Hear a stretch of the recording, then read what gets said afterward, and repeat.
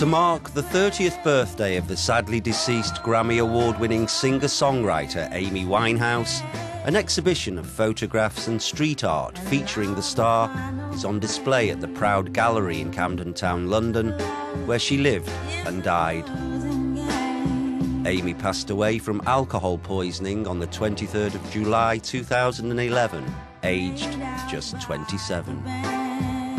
Her parents, Janis and Mitch, attended the exhibition, which will raise money for the Amy Winehouse Foundation, a charity set up to educate people on the dangers of drug and alcohol abuse.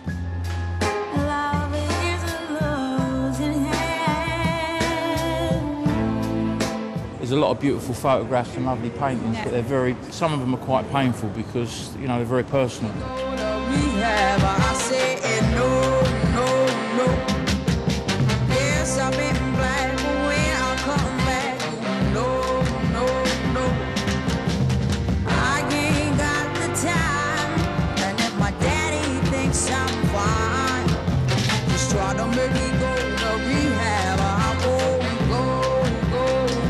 We get letters every day from young people and old people uh, that said that Amy changed their lives, um, changed the people who were in the midst of, of addiction. Yes. Dealt with their addiction because of Amy's passing.